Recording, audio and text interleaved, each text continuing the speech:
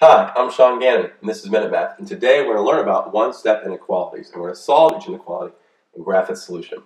So if I was given this inequality, negative 9x is greater than or equal to negative 90, okay? Well, first thing I'm going to do here is get x by itself. So I'm going to divide by negative 9 to both sides. By doing that, I'm left with the x, and then uh, on the right, negative 90 divided by negative 9 is a positive 10. But since I divided by a negative over an inequality, I need to flip the inequality. So my greater than, uh, greater than or equal to sign turns into a less than or equal to sign. So now x is isolated here. I have x is less than or equal to a positive 10. I need to graph that. So kind of short graph, but it's okay. 10, oh, 12, 14, let's go by 2s, 16, 8, 6, 4.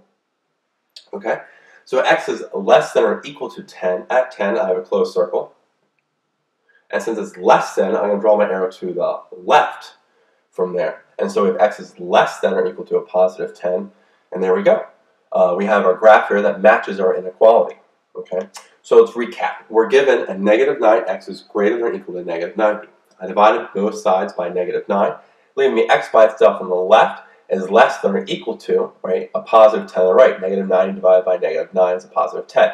Now remember, again, I can't forget it, when we divide by a negative over an inequality, that's one of the causes to flip that inequality. Okay, so we went from a greater than equal to sign to less than or equal to, to sign. That's probably the most important part of this uh, problem here.